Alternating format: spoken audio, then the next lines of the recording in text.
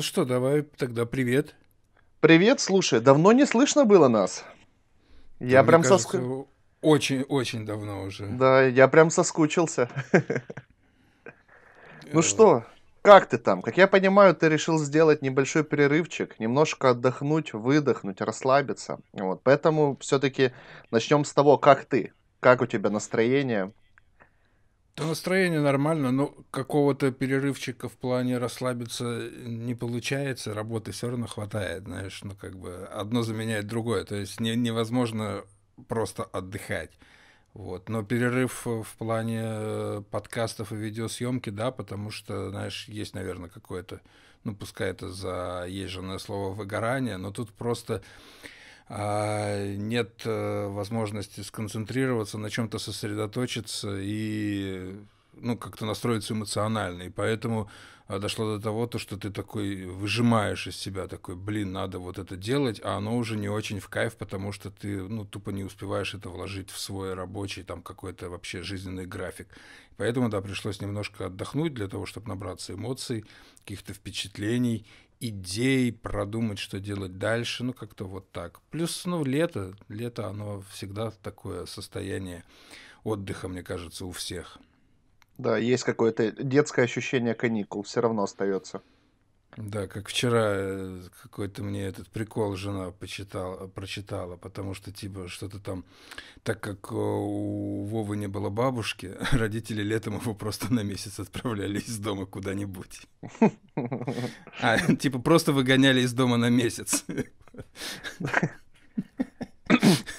Я, я, кстати, э, сегодня специально послушал эм, концовку нашего прошлого подкаста, ну, последнего, э, чтобы освежить в памяти, на чем мы закончили, на какой ноте, что хотели обсудить.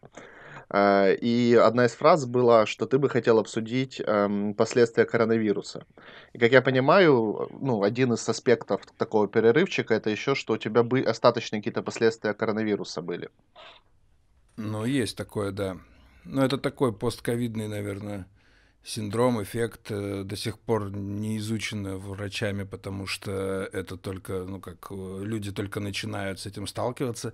Вот, все, что там я перечитал, э, пообщался с теми, у кого такая же фишка.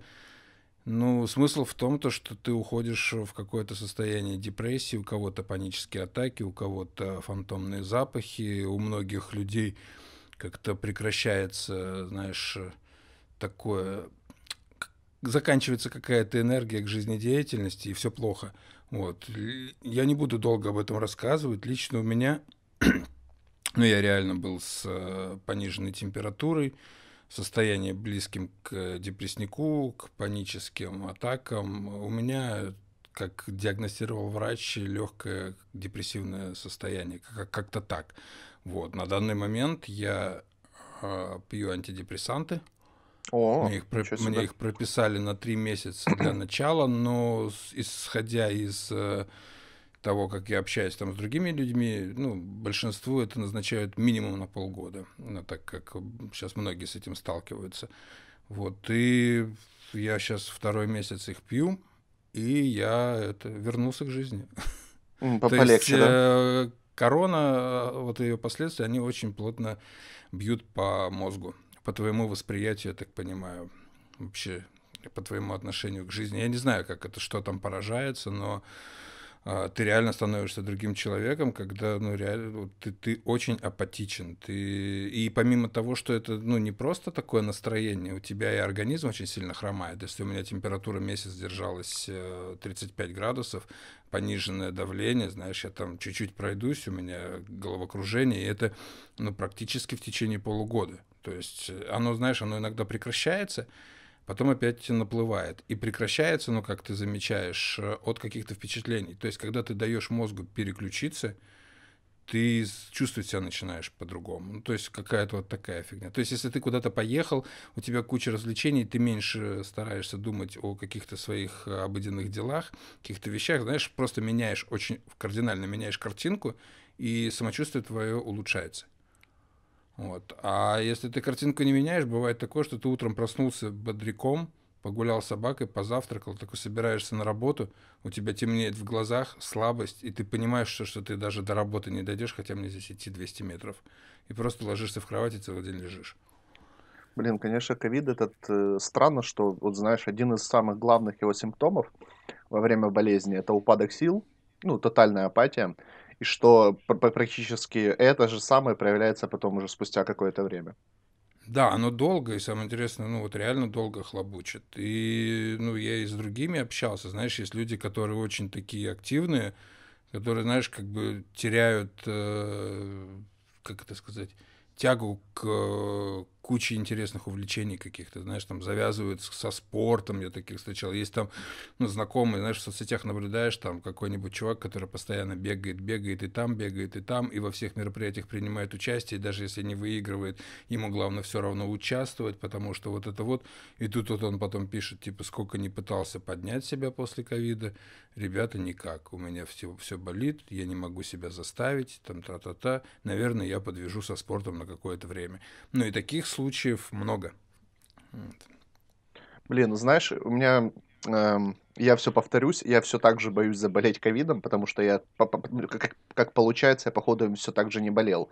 Хотя у меня вот недавно было подозрение, я думал, что я заболел уже.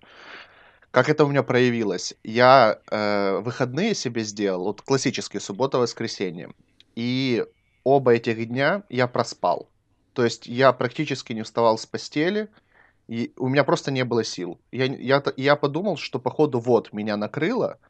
То есть э, я там мерил температуру, обычная среднестатистические 36,6. А, запахи все есть. Думаю, ну не может быть. Ну, короче, сделал тест, сходил в лабораторию тут рядом возле дома. Да нет, все нормально, типа нет ковида.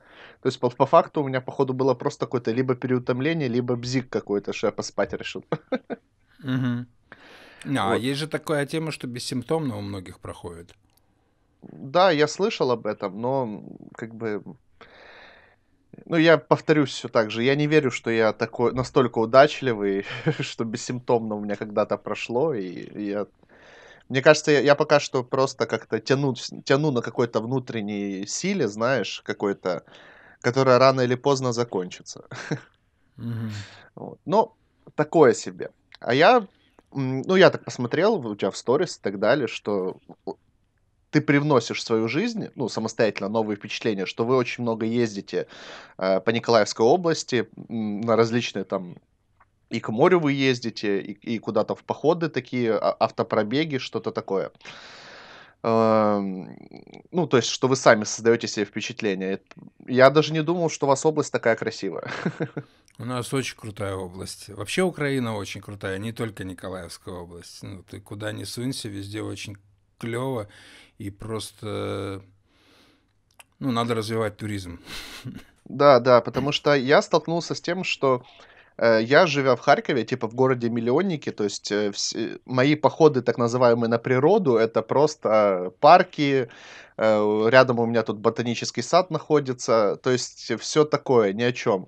А за город поехать все-таки это целое событие, то есть это ну, то есть я уже не в том состоянии, чтобы спонтанно на автобусе куда-то поехать, знаешь, то есть, mm-hmm. то есть надо уже цели как-то планировать, э, причем прям звать друзей на машинах, ну, чтобы, ну, потому да. что у меня, у меня самого автомобиля нет, поэтому э, для велопробега у меня есть велосипед. Я не настолько с ума сошел по велосипедам. То есть велосипед для меня всего лишь транспортное средство э, из дома на работу и с работы домой в хорошую погоду. То есть я не, э, ну, не вот этот э, чувак, который угорел по великам, который везде с ним, в велошортах mm-hmm. и так далее. То есть для меня это просто средство передвижения. И я понимаю, что если я хочу увидеть что-то, ну, вокруг Харькова, то мне нужно каждый раз готовиться, то есть прям составлять план и, ну, и, да. напряг, и напрягать людей, то есть загорать других людей идеи, чтобы они загорались со мной, и по факту пользоваться ими, чтобы они меня ну, везли куда-то. Так, так и надо, да, просто изучаешь э, регион, смотришь, где могут быть какие-то интересные локации, а, какие-то либо природные классные штуки, да, либо архитектурные какие-то сохранившиеся и либо какие-то заброшки такое тоже, особенно Харьков, да, там, ну, вот, какие-то заброшки, какие-то там, может быть, э, поселения брошенные, там где-то что-то там осталось. Ну, это просто изучаешь, читаешь, находишь локацию, говоришь, блин, пацаны, поехали. Ну, не обязательно же сначала снаряжаться там палатками и там всем э, необходимым на несколько дней. Можно в э, световой день очень много уложить, если есть автомобиль. Ну и друзья, да, которым да. это прикольно. Хорошую музыку с собой, чай, кофе, какую-то небольшую горелочку, ну, чтобы по минимуму. Плюс сейчас э, все так развито, вот сколько мы катаемся, блин, можно даже ничего с собой не брать, все равно есть заправки, и все равно на всех заправках ты пописишь, покакаешь, э, съешь горячий хот-дог, мороженое, купишь холодной воды, ну, как бы проблем нету. Бывают такие моменты, ну, мы так сталкивались, да, когда ты на какую-то трассу въезжаешь, ну, и вообще нет заправок. Ну, бывает, но опять же, а, в этот временной промежуток ну, ты не умрешь с голода. Ну, конечно, может там в горле пересохнуть, да, потому что долго нету воды, там еще что-то, но это не критично. Сколько ездили, ну, были такие моменты, я помню, на какую-то, вот прошлое лето мы катались, это что же, типа, после первой волны короны, да, после первой пандемии, а, были ну, как бы, я так понял, по многим заправкам не сетевым сильно ударила эта штука по бизнесу, и они позакрывались. Просто ты едешь, заправка вроде есть, такие частные какие-то, они все закрыты. Угу. А, либо они открыты, но там, знаешь, огромная заправка, мы как-то попали на такую, она огромная, блин, ну то, что там, знаешь, как вот как Око какой-то, да, или ВОК, вот, э, большая локация, видно, что там есть типа маркет, короче, все, но там только один мужик, вообще больше никого, кассы нет никакой, то есть ты ему даешь бабки, он тебя заправляет, ты говоришь, нам надо мороженое, он говорит, пойдемте. Он ведет тебя типа к этому мини-маркету, открывает ключом дверь, ты заходишь, типа в холодильнике смотришь, типа, «А это все, что есть? Он, да. Ты там хоп, бутылку фанты, там из холодильника мороженое, и он, только наличка. Ты ему хоп, отсчитал, короче. Ну, такие моменты были. Но... Как в американских фильмах, знаешь. Да, да. Ну, просто смотря куда поедешь. Опять же, сейчас, ну, блин, это все настолько развито, есть куча приложений, приложух э, для мобильного телефона, которые тебе показывают, где какая заправка, когда она будет, короче. Ну, то есть ты можешь по дороге, блин, и знать, через сколько ты заправишься, на какой заправке там, а если ты часто ездишь, там, знаешь, еще всякие бонусные системы, короче, ну, куча всего. Плюс, ну, сейчас это, это хорошо. Вот. Николаевская область, да, она крутая. Опять же, это все благодаря Тане моей, потому что я, знаешь, я такой как нахлебник, короче. То есть я еду, смотрю, э, фотографирую, снимаю, а потом еще могу у нее спросить, а где мы были? Ну, то есть я не могу изначально впитать всю ту информацию, которую она мне дает, ну, потому что она это читает, она изучает, она составляет маршрут, говорит, «Э, не хочешь ли поехать туда-то, там раньше были там такие-то поселения, короче, там должно сохраниться это, это, это. Я, блин, классно, поедем. Но она едет по маршруту, знаешь, она к этому готовилась и все это читала, как бы изучала, она знает, где сейчас что мы увидим, а я как э, этот, как турист такой, о, да, классная штука, там это сфоткал, это, это, а потом я начинаю информацию еще корректировать, типа, а вот это то, что мы видели, это где? Ну, знаешь, у меня все эти названия сел мешаются в голове, то есть, э, может быть, в Инстаграме может показаться, что я такой супер турист и все знаю, но нет, я, я просто я езжу со своей женой, которая все знает. Ну и как бы мне класс, мне повезло. И плюс она еще и за рулем едет. Блин, ну ты вообще максимум кайфа берешь от этого события. Ну, знаешь, я вот такой же. Я обычно, то есть, если еду там со своей Аленой там или еще что-то, то есть у нее в голове есть план какой-то, и кроме плана даже она иногда там решает, сколько времени нужно потратить на какое-то определенное место. А потом ну и получается, я как будто больше удовольствия получаю, потому что у меня голова просто воспринимает впечатление. Я хожу, о, прикольно, о, прикольно. А она такая, так, так, нам пора ехать куда-то дальше. Знаешь, она контролирует, она там на что-то смотрит. А я такой, типа, тю, да давай тут еще потусуемся, типа, какая разница, может дальше будет не так круто. Вот. У меня еще есть такая же фигня, когда еще помню в России жил, знаешь, там в метро, а если ты идешь с кем-то, кто знает дорогу, ты как-то отключаешься, короче, и куда он повернул, туда и ты, короче, куда он зашел, туда и ты, а потом ты такой думаешь, блин, я же здесь был, но я вообще не помню, короче, как. Да, и вообще не запоминаешь маршрут, да, не, не да, запоминаешь. Да. Да, а когда ты один, э, как бы ты все нормально контролируешь, но потому что ты берешь на себя эту ответственность, и ты такой уже, ага, Типа тут так, тут так, а когда с кем-то, ну, блин, ты такой об этом не думаешь, короче, такой, а, нормально, меня ведут, короче. Вот. Ну, это, видишь, позволяет больше получать впечатлений. А я этот э, впервые пошел в такой организованный отпуск вот в начале мая, когда были майские, это с 1 по 11. Я решил, что сколько можно работать, и прям организованно уйти в отпуск. Я заранее, за полторы недели, написал всем каким-то постоянным своим оптовикам и заказчикам, что так и так, на майские не будем работать, буду в отпуске. Я начал делать там какие-то посты в Инстаграме там и на Фейсбуке, что так и так, дорогие там клиенты, розничные там и так далее, что не будем работать, вдруг у кого-то есть желание, потребность приобрести нашу продукцию там и так далее. В результате я себя нагрузил очень сильно работой до отъезда. Настолько сильно, что эм, я уезжал в пятницу вечером, если я не ошибаюсь, что я с четверга на пятницу поспал три часа, проснулся в пятницу в 8 утра и пошел на работу, еще что-то делал до обеда там, или даже до вечера, чтобы все успеть, как я себя нагрузил. Вот. Я, короче, и в результате я вот весь отпуск, эм, то есть я приехал отдыхать уже, и по факту мне никто не пишет, понял? Вот, я впервые... Mm-hmm. Ну, у меня там местами, конечно, со мной связи не было. Ну, то есть я впервые сделал себе детокс от соцсетей, э, ну, не потому, что у меня это было в голове, а потому что я настолько подготовился, что все были в курсе, ну, кому нужно было, что мне никто банально не писал. Я же обычно как? Если где-то тусуюсь, то я просто стараюсь отвечать, если мне пишут. Но бывает, часто пишут, часто отвечаешь, и те, меня все тыкают палкой. Эй, хватит, типа, в телефоне сидеть, ты вообще-то в отпуске, ну, типа, давай. Mm-hmm. Вот. А тут у меня был, были моментами, что я вечером просто целый день не трогал телефон, ну, только фоткал на него что-то. Вечером подключаюсь к Wi-Fi и смотрю, а у меня там, знаешь, одно сообщение — и, это настолько было непривычно. Вот я настолько, ну, отвык от того, что кто-то может не писать, знаешь, что я себя поймал на какой-то мысли, что это так странно, что меня это парило первые пару дней. Я, знаешь, такой, блин, у меня свой бренд, а мне никто не пишет. Ты не плакал там, когда не было сообщений? Ну, нет, не плакал, но... Бля, они меня забыли. Меня это просто настолько как-то, ну, настолько непривычно было, что я аж такой, да не может такого быть. Ну, угу. мне, ну я, я потом начинаю это анализировать, я понимаю, что я всех предупредил, у всех тоже майские.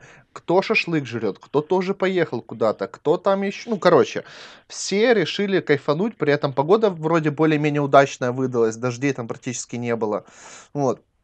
Особенно там в первые числа. И что люди тоже выдыхают и ловят кайф от жизни. Но для меня это было вообще странно. Я просто реально, я поехал в отпуск и много думал о том, что я первые три дня, наверное, не отдыхал вообще. То есть, ну, как бы, ну, еще не ощущал, что я отдыхаю, точнее. То есть я еще находился в работе. То есть, наверное, у меня отпуск начался по факту с четвертого дня где-то, с половины mm-hmm. моего отпуска. То есть первые пару дней я еще жил э, в отправках, я еще думал о том, что, блин, у меня какие-то хвосты остались и так далее. Вот, вот этим жил. Вот. И я понял, что на самом деле, вот когда уже начал какой-то кайф получать от поездок, э, от общения там с друзьями, которых давно не видел, э, что когда ты максимально сильно погружаешься в рутину, э, у тебя очень сильно э, сужается кругозор э, к выполнению текущих задач что ты дальше того, что ты должен сделать, ты уже не додумываешь. То есть это теряется уже какой-то и творческий аспект, то есть ты не придумаешь ничего нового. И вот эта точка, она ст- становится твоей единственной целью. И когда ты вот в рутине, ну, например, это там, я не знаю, сделать новую партию продукции. Ну, это у меня, например, да. То есть я ее выполняю и просто делаю следующую точку. То есть никакого развития, никакой, знаешь, только краткосрочные перспективы.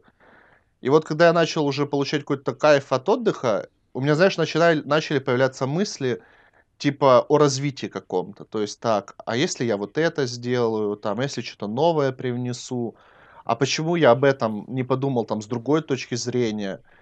И на самом деле э, я себя поймал на мысли, что вот, наверное, причина еще каких-то моих м- скажем так, не самого быстрого развития, возможно, в том, что я мало отдыхаю.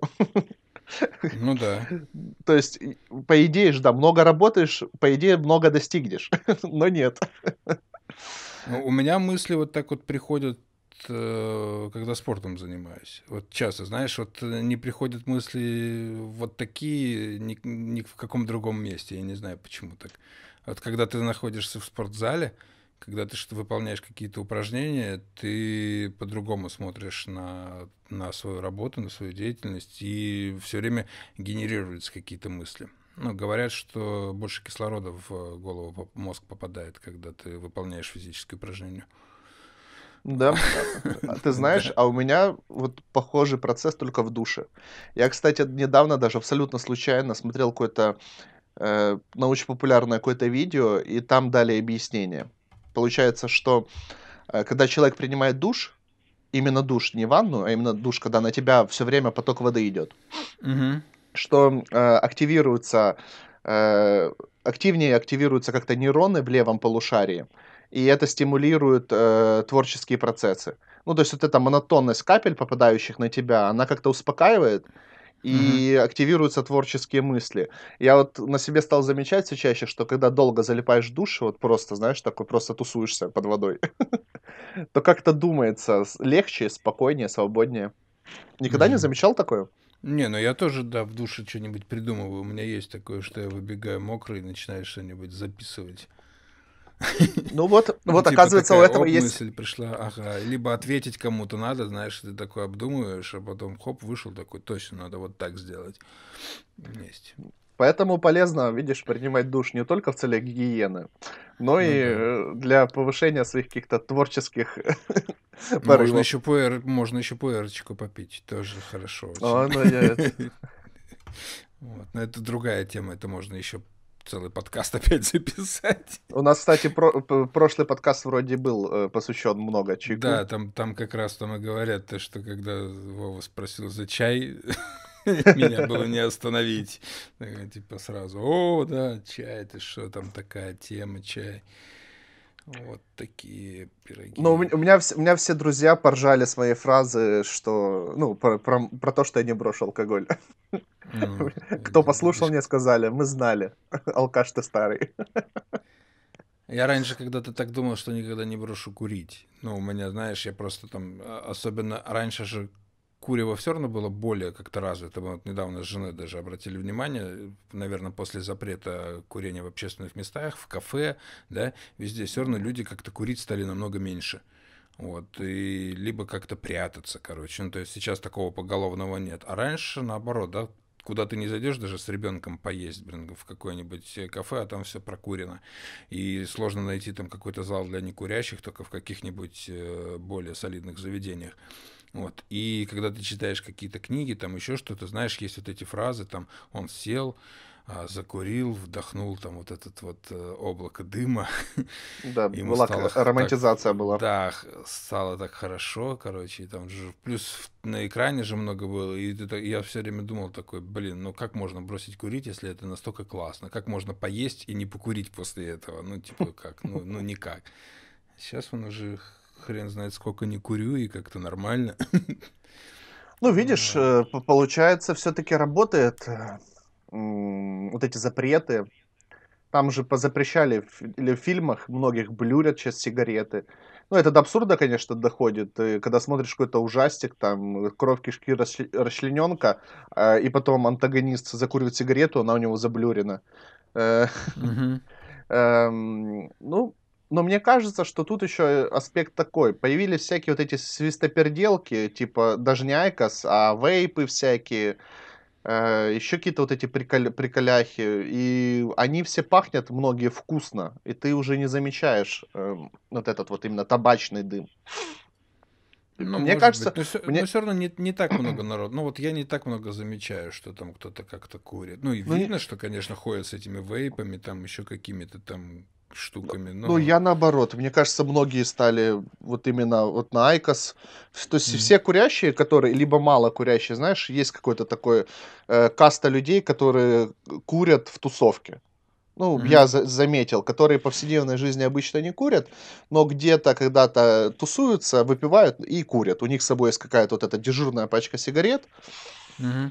Вот. И многие просто вот эти люди перешли на IQOS и стали больше курить. Причем я так... У меня просто как-то, не знаю, я наблюдать почему-то стал за своими друзьями, кто IQOS курит. Я заметил, что они стали IQOS в два раза больше курить. То есть они не, не накуриваются одно, одним этим стиком, и они курят два подряд. И еще радуются тому, что IQOS развивается, ну, как бренд. И что раньше можно было за э, один заряд там как-то курить всего один стик, и надо было на подзарядку ставить. А теперь вот IQOS выпустил специально для нас э, стик, который, когда можно два раза покурить подряд, и потом на зарядку mm-hmm. только ставить. И я такой думаю, ну чё, так они по- просто поняли, что вы не накуриваетесь. Они сделали специально два раза подряд, что вы курили в два раза больше. Ну да. И при этом, я заметил, они все покупают сразу по две пачки стиков. То есть там тоже 20 стиков в пачке. Но если ты покупаешь пачку сигарет, ну, человек, когда покупал, то он понимал, что это четко ему там, кому на день, кому на два, кому там на три и так далее. То есть четко, до сколько хватит. Э, то они как бы как будто не совсем понимают. То есть они такие, я возьму лучше сразу две, потому что вот эта одна может в любой момент закончиться. Угу. Ну, в общем, какой-то странный движ. А еще ж появились э, одноразовые вейпы. Ну, то есть, по факту, это, я не знаю, как мини-вейп, что ли. Просто он запаянный в пластиковом тубусе со всех сторон, и там одноразовый аккумулятор или батарейка.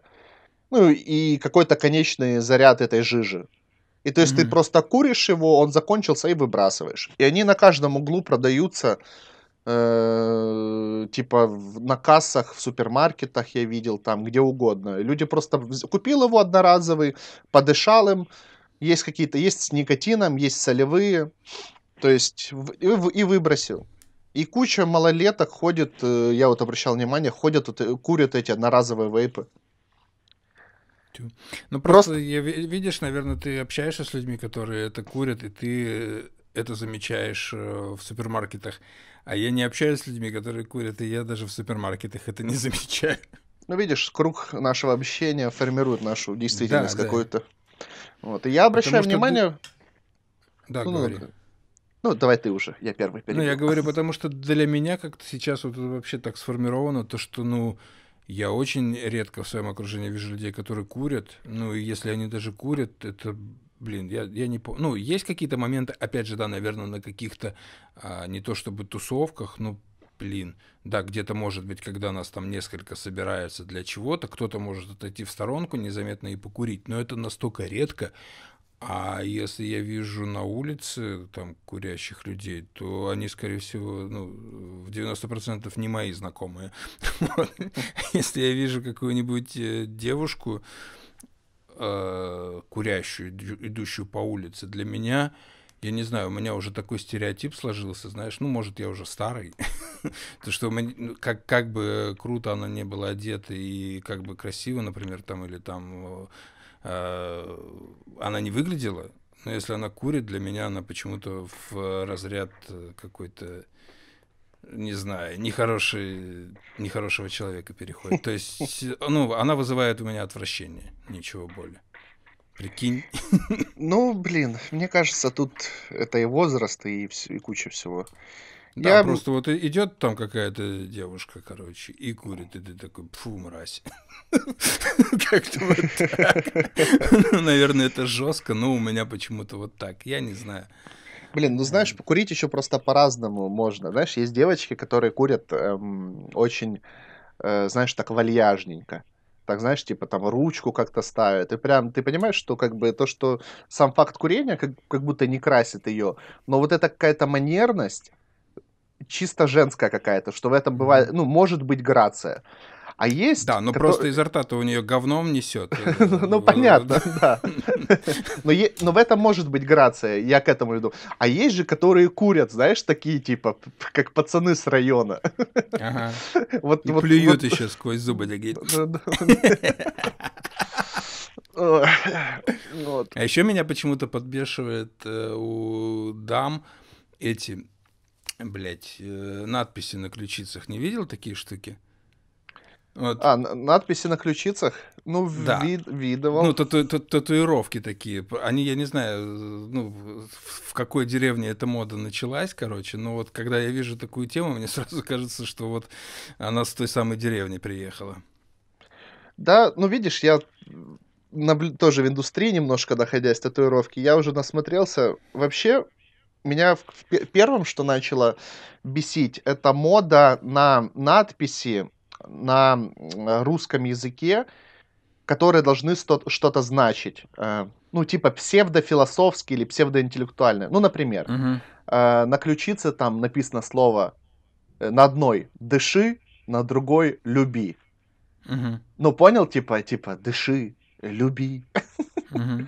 И я, короче, я такой, я понимаю, что, ну, как будто эта татуировка сделана, ну, не для себя, а для меня. То есть я должен mm-hmm. прочитать вот это «дыши», и это типа какой-то такой слоган или призыв, э, типа «дыши полной грудью», там «бери от жизни все». Вот какая-то вот что-то вот это псевдофилософское, псевдоинтеллектуальное, максимально скучное и банальное.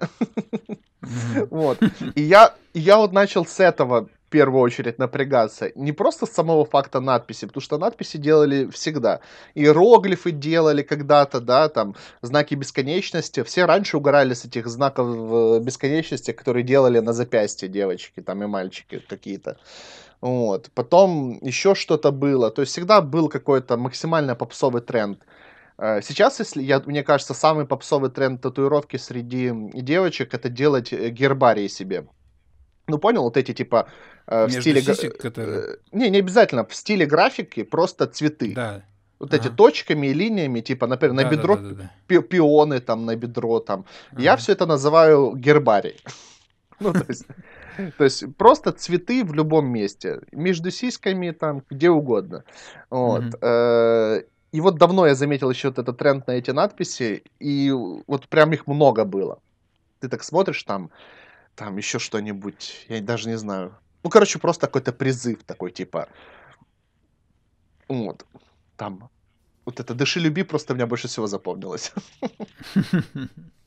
Ну, блин, это было всегда, просто, знаешь, как, эм, просто раньше это сильнее бросалось в глаза, потому что э, с развитием, ну, индустрия развивается, и с развитием индустрии даже самая попса становится чуть развитее. То есть, если раньше банальщина была какая-то очень приземленная и прям некрасивая, то сейчас даже банальные вещи более красивые, чем когда-то. То есть, мы, ну, да. то есть сейчас, посмотрев на ту татуировку, ты понимаешь, что у человека может быть максимально качественная, круто сделанная татуировка, но это, блин, волк на фоне леса. Ну, то есть, ну, да. ну, то есть это самое попсовое, что может быть, но при этом исполнение, конечно, и сама, сама индустрия говорит о том, что она уже на каком-то уровне развития более высоком, чем было раньше. Вот. Хотя попсы осталось, то есть люди до сих пор бьют себе этих волков, до сих пор бьют себе лес, э, до сих пор бьют себе вот этих тигров, львов, вот это, вот это все, что девочки себе гербарии бьют. Вот. Но при этом многие стили отошли, перестали быть популярными. Например, биомеханика когда-то. Биомеханика... Ой, да, раньше столько много было роботов этих. Которые делали себе там ну, механизмы. Ну, которые как будто, да, кусок кожи такой, типа, оторван, а у тебя там такие механизмы внутри какие-то там шестеренки. Ну, понимаешь, раньше это было настолько популярно, что да. я помню себя где-то в году 2010, что я себе хотел на спине сделать э, эскиз из биомеханики. У меня где-то этот эскиз даже сохраненный еще в ВК лежит. То есть э, э настолько, биоме... и настолько биомеханика была популярна, что ее выделяли на тату-фестивалях в отдельную номинацию. То есть прям была номинация биомеханика. Сейчас последние года три биомеханику вообще убрали из номинации, потому что до этого был тренд, то есть три года как нет номинации биомеханика, а до этого э, в биомеханику было всего, короче, мало номинаций, мало моделей выставляли. То есть было что-то, например, э, в номинации три места и три модели всего по биомеханике. ну и то есть, получается, между ними делят призовые места. Ну, короче, странно mm-hmm. было. То есть на одном фестивале, я помню, года три тому назад было такое, что э, было мало моделей, но номинация была, и поэтому дали всего одно призовое место, типа лучшей работе, чтобы как бы честно было, чтобы не было второго, третьего места. И поэтому mm-hmm. убрали. То же самое был стиль, может, помнишь такое, назывался трэш-полька. Да. Вот. Ну, он прикольный. Ну, потому что он был реализм с элементами, с такими, всегда был красная какой-то, красная mm-hmm. линия, какой-то красный элемент. Вот. Тоже ж по факту трэшпольки уже никто не делает. То есть сейчас, конечно, новая мода, сейчас э, многие стили просто смешиваются, и трудно mm-hmm. бывает работу характеризовать в одном стиле. Но вот те старые стили уже отошли. Вот. И в целом качество татуировки выросло. И что немало, что круто, в Украине очень много крутых мастеров. Причем, ну, вот концентрация крутых мастеров, мне кажется, значительно выше там, чем где-то в среднем по миру. То есть куда ни плюнь, куда ни посмотри, э, за границей топовые мастера это многие выходцы с СНГ, которые mm-hmm. работают сейчас в Нью-Йорке там или еще где-то. То есть в Нью-Йорке одна из самых крутых студий реалистов это э, чувак из Одессы основал ее там. Прикольно. И он вокруг себя тоже собирает э, все-таки больше диаспорных чуваков, чем местных. То есть там, mm-hmm. вот. Я поэтому... просто так сильно татуировкой не интересуюсь, поэтому я даже хрен знает, что там происходит в этом мире. Ну, я как бы... Я как бы в силу работы как будто должен интересоваться. Ну, Но на самом... забиваешься еще сам. Да, да, я продолжаю. Потихоньку. Ну, мы недавно закончили проект, вот. У меня вот на прошлой неделе был последний сеанс. Мы закончили полностью мое левое бедро. Вот. Ну и получается, я регулярно все-таки вижусь, и многие друзья татуировщики, и мы, как бы, как бы там ни было, но мы сплетничаем, и, возможно, кого-то хуесосим. Да, но при этом мы обсуждаем частенько, да, тату-индустрию. Есть, есть какая-то, знаешь, э, тусовка небольшая, поэтому да. А я что-то так давно забросил все это дело, что, знаешь, иногда такой думаешь, что-то хочется, а потом думаешь, блин, ну, у меня же куча всего непонятного, да, и по идее это все непонятное, неплохо было бы там привести в порядок, где-то что-то перековерить, короче, еще что-то. Ты когда начинаешь об этом задумываться, взвешивать там количество сеансов, э, поиск мастера, деньги, там то и все, и понимаешь то, что особенно, знаешь, у меня и такое представление о, о татуировках, как э, человека с плохим зрением, короче. И фишка в том, что, глядя на себя в зеркало, даже перековерив все, что у меня есть, я буду видеть точно такого человека, которого я вижу сейчас. Для того, чтобы мне понять, что там изменилось, мне надо приглядываться, либо надевать очки. Вот. И, соответственно, думаешь, думаешь, блин, ну какая разница, знаешь, что я так иду, на мне видно, что, ну, как бы это не чистое тело, а у него какие-то татуировки. Что перековерив ковырен я буду тоже идти с какими-то татуировками, ну, для того, чтобы ну, какое-то впечатление на себя произвести, ну, как-то я его уже давно и так произвожу, вот, а для того, чтобы просто потратить денег или там быть, ну, типа, посмотреть себе на руку и сказать, вот теперь я, блядь, по-другому зарисован, и это классно как-то, ну, короче, я не понимаю пока смысла, зачем мне это, но иногда хочется, но хочется ничего не исправлять, а просто что-то что сделать еще. Но это еще, опять же, я не хочу там пока там забивать там спину, там, знаешь, какие-то ноги. И вот последнее, что у меня в голове, если и крутится, то это либо шея, либо что-то на лице. Чуть-чуть. Вот. Ого, ого, неожиданно, неожиданно, честно скажу. Я ну, а просто... остальное, оно просто как-то так, знаешь, ну, типа, знаешь, сделаю я на спине что-то еще, но, блин, кроме меня самого об этом никто знать-то и не будет. Ну, я голый по улицам не хожу, как бы, знаешь, там, ну, такое. Ну, видишь, я вот, э, мы сеансов 10, наверное, делали мне левое бедро, и в какой-то момент кто-то сказал, то есть ты потратил и там условно столько-то денег, столько-то времени, сколько мы, полтора года делали. Ну, конечно, угу. с... я ездил к чуваку в Сумы, и, конечно, не постоянно это было, бывало, месяцы выпадали. Ну, то есть сеансов 10 было, наверное, я точно не считал. Э, то есть и вложил какую-то сумму денег в бедро, по факту, вот полностью работу мою никто не увидит. То есть mm-hmm. я все, все равно я шорты ношу такие, знаешь, как э, такие, у меня шорты свободные до колена обычно. То есть все равно Американский я... баскетбол, короче. Ну, типа того, да. То есть я, я хотел, я хотел, я, я хотел сказать скорее э, американский рэп-кор какой-то, знаешь, как Limp Bizkit там или еще что-то. Ну, ну, типа вот такие широкие шорты до колен, не, не бриджи. Еще не бриджи, но уже не шорты. Вот. Все равно бедро мое толком никто не видит, то есть, типа, э, и кто-то говорил, ну, и как ты будешь им выпендриваться своим бедром? Таким крутым, круто сделанным и так далее. Ну и по факту я же все равно для себя сделал. Ну, то есть, какая разница? Ну да, иногда мне, знаешь, приходит в голову тоже мысль, ну, как вот э, все, что касается там денег, э, и каких-то накоплений, да, в жизни. Ну, то, что если философски мыслить, то все вещи, которые там ты себе приобрел за время своей жизни, они останутся здесь, а ты как бы уйдешь, да, и, соответственно, почему там говорят, э, лучше тратить деньги на эмоции, на впечатления, потому что это тот груз, который, ну, всегда с тобой. Вот, и иногда, недавно я подумал о том, что и татуировки, в принципе, тоже ты унесешь с собой в могилу. Это, наверное, единственное, что ты заберешь с собой.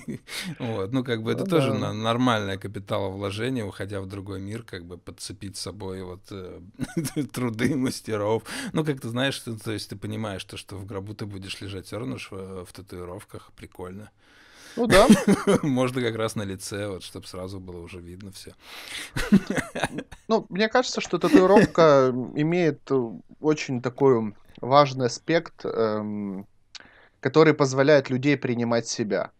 То есть, что бы там ни говорили, э, конечно же, многие делают татуировки, чтобы выпендриваться. Ну, это спору нет.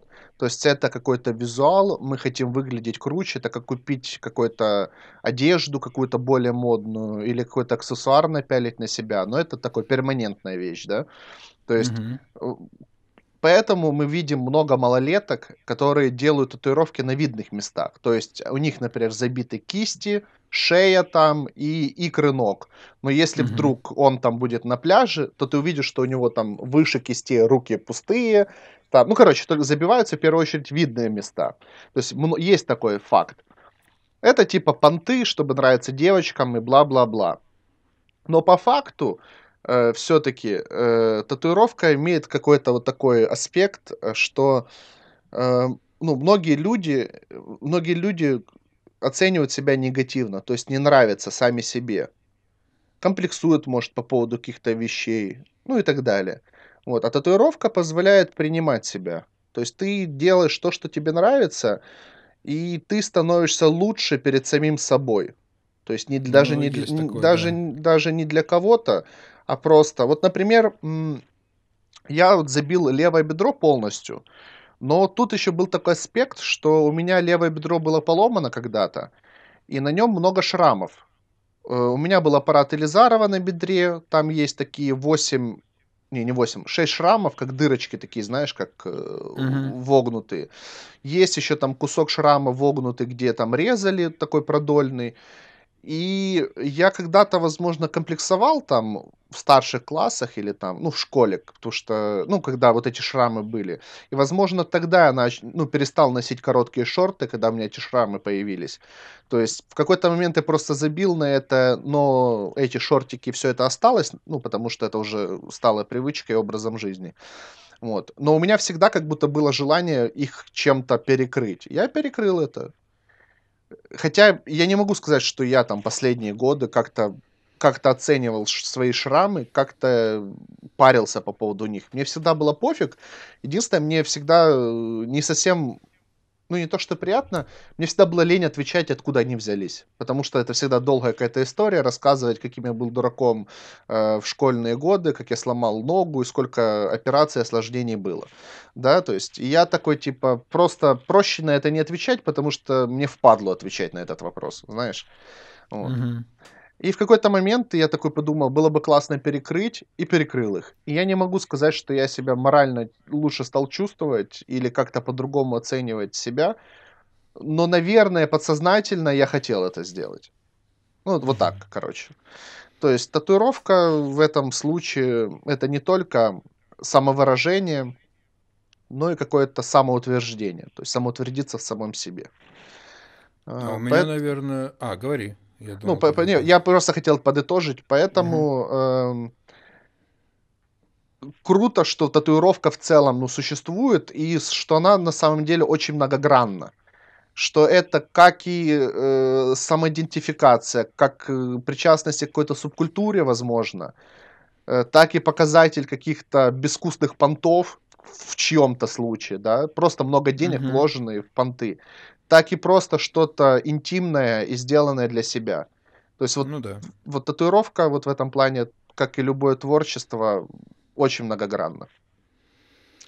У меня, наверное, больше какой-то субкультурный. субкультурный какая-то, знаешь, типа кастовая принадлежность. Ну, у меня нету там каких-то эмблем а, определенных группировок, но то, как э, развивалась, ну, на мне вот эта вся, вся фигня, она все время меня, я себя старался с чем-то охарактеризовать. Знаешь, когда-то было такое выражение, не знаю, слышал ты или нет, типа движение футболок. То есть человек хочет все время э, войти в какую-то организацию для того, чтобы получить их футболку. Ну, типа, а. это круто. Ну, футболочники, да, там э, в мотоклуб какой-то, да, там саппортить, там что-то еще, и ты такой, вау, типа я вот тоже. Вот у меня одна наверное, самая первая моя татуировка, которую я себе сделал сам иголочкой, было гроб, ну, гражданская оборона, там четыре буквы на запястье. Угу, а угу. это, ну, это первый курс ПТУ, если мне не изменяет память, когда я там панковал, слушал гражданскую оборону, жил на севере, и как бы, ну, у людей моего возраста и окружения не было татуировок.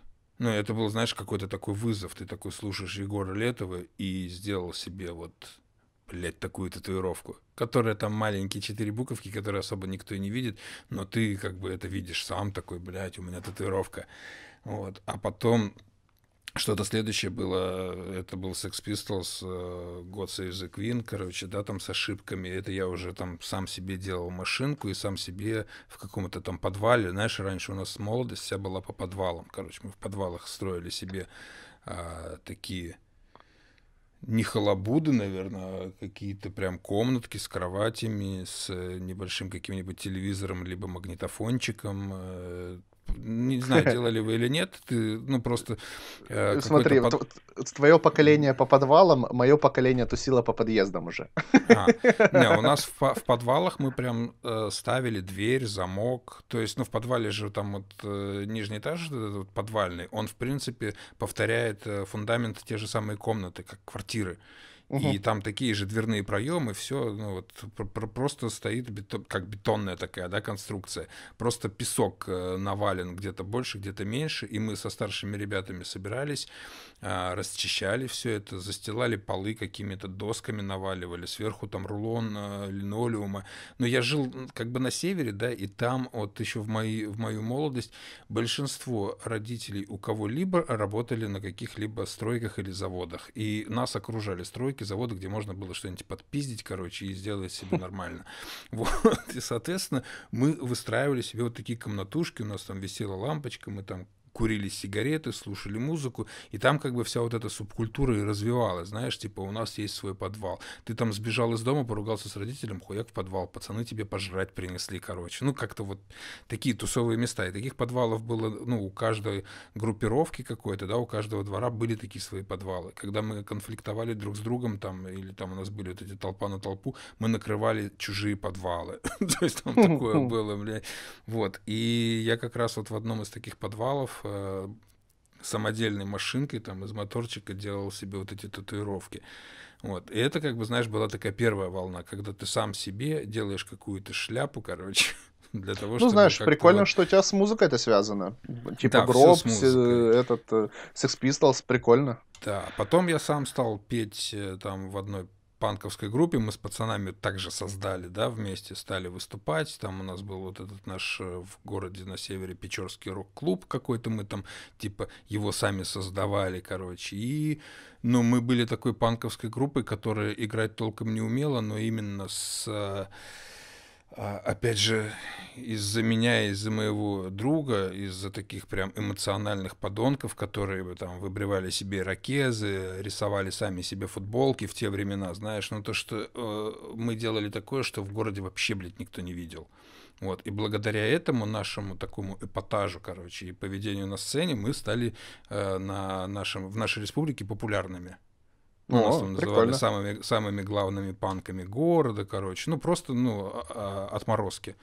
Я там жрал какие-то там таблетки перед выступлениями, не помнил вообще, что я творил на сцене. Это вот в те времена, знаешь, когда там милиция стоит такая, охраняет в фуражках, короче, типа рок-клуб, у каждой группы но ты, ты, как, ты как будто к этим, к, э, истокам пошел. Расстроенные гитары, непонятный вокал. Да, да. Да, рок-концерт, там каждой группе там, ну, дают какой-то отбор сначала, знаешь, типа, кто будет выступать. Все такие там попели, ну, там сидит там Витек, короче, ну, организатор. Но он тоже играл музыку, только такой индастриал, там, типа, что-то там э, ближе к Nine Inch Nails тогда, знаешь, что-то. Ага, вот. ага ну, у них была более крутая аппаратура, синтезаторы, они работали, могли себе позволить э, ну, купить ну, повзрослее ребята. И вот они нас прослушали, такие, да, да, вы проходите. Я вот помню первое выступление на большой сцене, я попросил свою маму сшить мне из простыней смирительную рубашку. Выбрил ирокез, короче. Ну и вот я на сцену вывалился в смирительной рубашке, вот так вот, знаешь, э, э, дергаясь, э, как будто я псих, которого надо успокоить. И вот в этом вот имидже я пел песни, короче. Ну, то есть там, там еще тогда это были газеты, в которых фотки вот эти, типа, блядь, про нас писали, короче, то, что, типа, вообще там, типа, непонятные ребята. Вот. И тогда вот, и вот в этой, в этой движухе уже моей такой панковской, я продолжал себе колоть какую-то шнягу, короче. Ну, вот какие-то, знаешь, это уже было такой образ, блядь, Сида Вишеса. То, что ага, я жрал ага. какую-то непонятную наркоту, запивал ее водкой, непонятно, что творил на сцене, короче, э, одевался во что попало. У меня были там такие прикиды вообще, там какие-то пиджаки, галстуки, на которых я там э, рисовал анархию, короче, ну, ну такое. Очень интересные были всякие очки для плавания, блядь, на глазах. Там все, все в кучу, вот. А, и вот это вот все. А потом как-то так прошло уже по татуировкам, знаешь, то, что ну, я как бы там стал повзрослее, переехал жить э, ближе к Москве, и я там, ну, как бы не так много времени провел. Потом у меня получилось, что я там заехал за забор, да, в места не стали отдаленно. А там другое. Там я в непонятных татуировках написанных, короче, ну, которые, в принципе, никто не обращал внимания, потому что там, знаешь, у каждого а, за молодость никто не спрашивает, за вольную жизнь тоже. Там, кали себе все, что хочешь, в принципе, если это не пересекается с какими-то конкретными там воровскими татуировками. Угу. Ну, и я слышал, там... типа, что за татуировки, сделанные на гражданке, спрос не берут. У меня какой-то э, пьяный бомж мне это сказал, который говорил, ну, что да. сидел. Но это даже раньше так было. Ну, единственное, что если ты на гражданке не бьешь себе воровские татуировки и не заезжаешь туда, опять же, сейчас это уже в моде, типа тюремная татуировка. И я не знаю, ну, блин, я давно туда не ездил, короче, и все очень сильно поменялось, я вообще не знаю. Ну, мне кажется, что в нынешнее время, когда тату-индустрия так сильно развита, что никто нигде не, за них уже спрашивать себя не будет, что бы ты себе не набил убил. Ну, в принципе, как бы. Я немножко вот. отвлекусь на эту тему. Ты знаешь, что вот эти, э, ну, около, типа в зоновском стиле татуировки э, популярными сделал Запад. То есть, понимаешь, в чем прикол? Вот есть же old school, да, Uh-huh. И люди забиваются олдскулом у нас американским по факту. Ну, Сейлор Джерри там и так далее. Ну, вдохновленные Западом. А, а на Западе чуваки э, сделали модным э, этот э, зоновские татухи, и они, у них называется это стиль Russian, Russian Criminal Tattoo. Угу. То есть для них это олдскул считается. На Западе, типа, русские татуировки олдскульные. И, ну, это со стороны очень смешно выглядит, когда там какой-то э, американец, у него там код набито и подписано код там, или север там, надписи. Угу. ну, какие-то да. вот такие, знаешь, типа Смерть типа классические. КПСС. Или у чуваков, э, ну, то есть ты понимаешь, что на фото какой-то там малолетка-америкос, а у него, типа, на ключицах эти звезды, понял? Mm-hmm. ну, роза ветров, которые. Э, и э, есть даже книга, э, какие-то чуваки, я уже точно не помню, выпустили книгу, которая называется Russian Criminal Tattoo. Она в двух томах, если я не ошибаюсь. И я ее частенько листал у всяких олдскульщиков на студиях. То есть, Мгм. получается, чуваки привозили эти книги или покупали где-то в Европе или на Западе. И там она на английском языке, там рассказывается, типа, история про криминалитет и расшифровки всех этих татуировок которые сделаны на основании э, вот этих досье, которые были у КГБшников или у кого, когда, Мгм. которые фоткали зэков и, и подписывали расшифровки, что это значит. Мгм. Вот, то есть это вот книга, сделанная татуировщиками, типа, о, о русской какой-то криминальной татуировке. То есть это настолько Прикольно. странно и как будто даже немножко абсурдно, знаешь, что этого не сделали у нас. Не, ну То у нас же есть такие, ну у нас мода, она что же есть, но не Нет, настолько, есть, может. конечно, но она больше Книжки, модной стала в одежде. эти темы, я, я тоже такие встречал. Ты не замечал, что в одежде много элементов? То есть много А брендов одежде- появилось? Да, это ж от Баленсиага, скорее всего, пошло, потому что у Баленсиага, как я понимаю, один из там владельцев или кто там, он грузин с прошлым из СССР. Почему там модные вот эти вот оверсайз спортивные костюмы, типа из 90-х, короче, а, очень много принтовано именно церквями, куполами и звездами э, одежды. Хм, Мне кажется, прикольно. а- а- они задали этот тренд на именно вот такое, на, на совок 90-х, короче, у них. Вот, вот так это можно, наверное, характеризовать. Я как-то...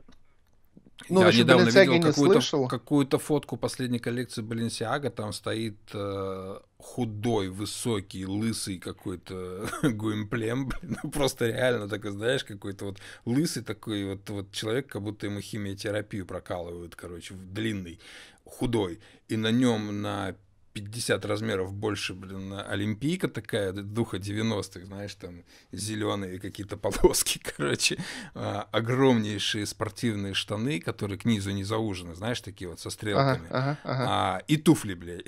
Блин,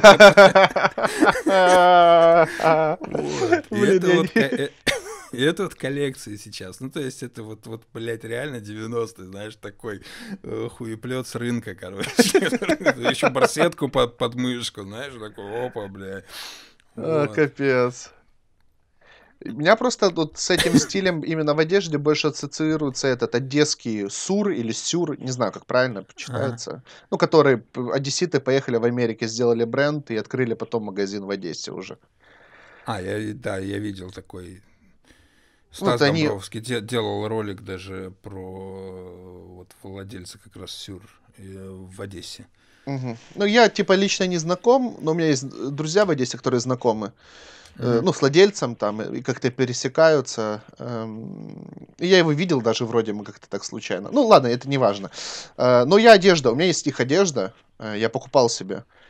У меня джинсы есть суровские или сюровские. Я буду сур называть, короче. Мгм. Э, то вот эти, знаешь, классические американские джинсы из плотного денима, э, прямой крой, снизу, которые подворачиваются вот это хер знает сколько раз. Мгм. Эм, То есть вот обычное все, причем какой-то деним там модный, японский, то ли еще какой-то. Э, Но при этом внизу сзади, там в районе щиколоток, э, нашивка, э, две красные звездочки на каждой ноге, понял? По звездочке красной. Я такой, ага, ага, типа для своих отсылочка или что? Вот, ну, да, но мы говорили о татуировке. Это я так Ну, просто в одежде стало там- много всякой Если фигни. дальше туда пойти, ну это я типа рассказывал, как у меня. Вот там уже пошла тема, знаешь, то, что когда там тебе э, светит определенный срок, и ты такой думаешь, что, что тебе здесь уже как-то жить, ну ты по-другому начинаешь смотреть на мир. Ну как бы знаешь то, что ты понимаешь, то, что, ну, у меня особенно там пару десятков лет светило, и я настраивался на ту жизнь. И, соответственно, в той жизни есть какие-то определенные масти, короче, которые показывают э, ну, твою принадлежность, грубо говоря. Ну, социальный статус скорее, да? Да, да. И там вот они у меня появились. А они у тебя И- остались или, или ты перекрыл их уже, когда на гражданке? Перекрыл.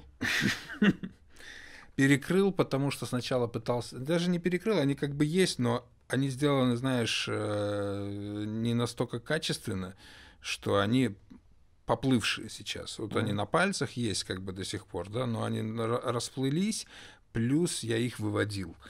Вот, я их выводил, потому что когда я освободился, знаешь, тоже у уголовников, например, есть э, несколько путей э, дальнейшей жизни. Есть те, кто жмут на блатную педаль, и вся их жизнь это украл, выпил в тюрьму. Угу. Вот. У меня же как бы все, все было не так, мне хотелось жить, и в тюрьму особо вообще не хотелось. Но так как я туда попал, как бы возвращаться второй раз мне туда не хотелось, потому что это не мой образ жизни. То есть а, оставаться человеком а, в любых условиях для меня и всегда является как бы приоритетом, да, и за то, как я там себя э, вел и как жил, никто плохого никогда не скажет, а даже наоборот. Но как бы возвращаться туда еще раз, чтобы опять быть там хорошим человеком, мне не интересно. Мне интересно прожить эту жизнь как бы другим путем.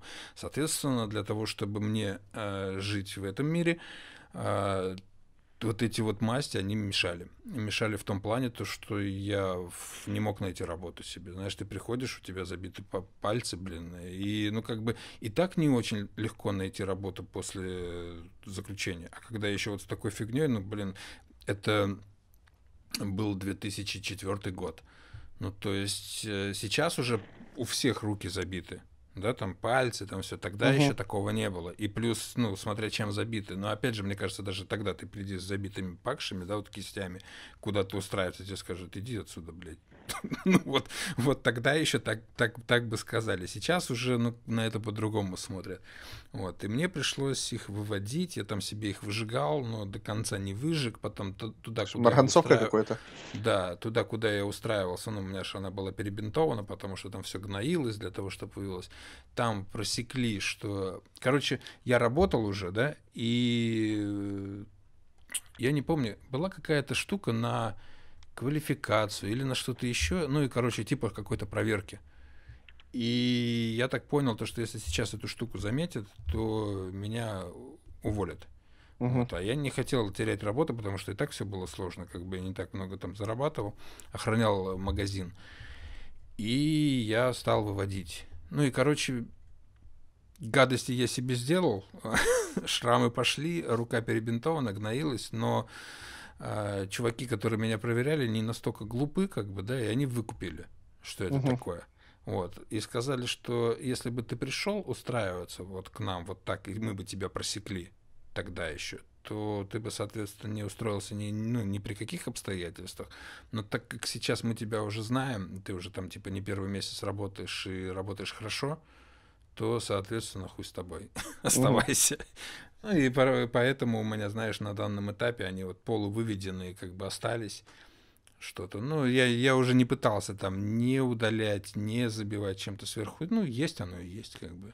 Мне за это там особо не стыдно, но и с другой стороны, я там нету ничего такого, что перечит, наверное, моим каким-то жизненным правилам. Ну, то есть угу. нет такого, знаешь, то, что я там себе набил, что я, блядь, всю жизнь должен сидеть в тюрьме. ну, или я какой-то там не ебаться главшпан.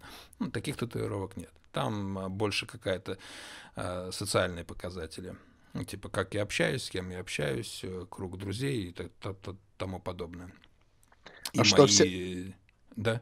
А все вот эти, типа, рассказы о том, что там чернила делают, какая-то жонка, там с каблука соскребают. Это все правда или это все слишком при, при, преувеличено?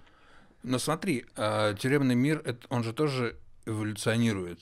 И, ну, очень много вот про то, что ты даже говорил, которые книжки, да, там какие-то записи КГБ там и прочее, а, старые вот этот old school тюремные татуировки. Например, она же началась во времена э, ГУЛАГа, да, ну, грубо да, говоря. Да, вот ГУЛАГ. В те, в те времена, когда были воры, когда были сучьи воины, короче, прочее, так когда за татуировки убивали, и когда они реально имели ценность свою. Вот, и там каждая татуировка, она реально что-то значила, и по татуировкам выкупали, и знали, кто тебе набил, как тебе набил, и по татуировкам тебя прочитывали, и, соответственно, если ты не соответствовал, тебя, ну, мокрили за них, да, либо опускали. Ну, такое было. А потом, со временем, например, там в 90-е годы, ну, не все татуировки времен ГУЛАГа дошли до этого времени. Какие-то остались, какие-то нет, потому что времена же меняются, и появился и рэкет, да, и какие-то там а, бандитизм, прочее. То есть появились э, часть новых татуировок, часть старых, например, да, там, а, блядь, смерть КПСС, но они же уходят, или там Ленина там бить, еще что-то. Ну, ну или уже, Сталина, да. Да, это уже неинтересно. Ну, соответственно, происходит эволюция. В, в, то же самое, чем бьют – а в те времена, когда вот э, был ГУЛАГ там и прочие дела, стопудово жгли каблуки, ссали туда, разводили с мочой и такой жонкой били. Я застал время, когда каблуков у нас не было, нас не одевали в кирзовые сапоги. Вот, но жгли подошвы у тапочек, у сланцев всяких, а, жгли станки, бритвенные биговские, знаешь, такие же с оранжевыми ручками. Да, да, да, знаю. То есть ты его жжешь, а сверху держишь шленку, ну, тарелку, и вся сажа собирается наверх. Ну, она летит вверх э, от того, что горит, и сажа собирается на эмаль на угу. тарелочку. А потом ты эту эмаль просто разводишь э, не мочой, а, а кремом, что-то типа арка, знаешь, такие крема, после бритья. Uh-huh, Он, он якобы чуть-чуть на спиртовой основе, ну такой вот, э, как кремообразный, как зубная паста. И ты немножко туда выдавливаешь и перемешиваешь его с, э, с этой сажей. И у тебя uh-huh. получается такой черный вазелинчик, э, которым ты бьешь. Ну, вот Ничего такая себе. Жон, такая жонка. Вот. Да, ну, вот, технология, били, сэр.